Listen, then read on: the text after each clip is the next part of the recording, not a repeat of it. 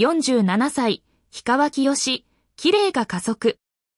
ビジュアルが良すぎる、可愛いね。素敵です、と反響。歌手、氷川きよし、47のスタッフによるインスタグラムが2日までに更新され、2025年のカレンダーの表紙が公開された。写真、半開きのお口がセクシー。妖艶ショット。12月7日土曜日、氷川きよしキーナ。カレンダー2025発売決定と伝えて、2つのバージョン、表紙違いが発売されますと説明。その2パターンが披露された。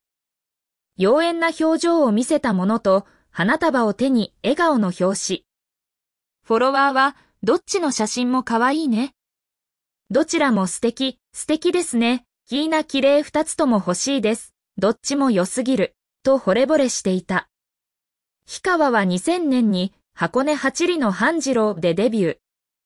同年から23年連続で紅白歌合戦に出場し、08年には大トリを務めた。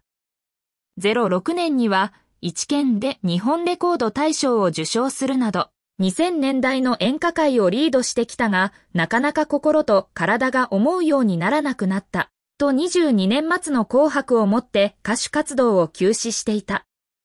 今年4月、活動再開と所属事務所、ながらプロダクションから独立し、自身が代表取締役を務める新会社、株式会社キーズナ、キズナの設立を発表。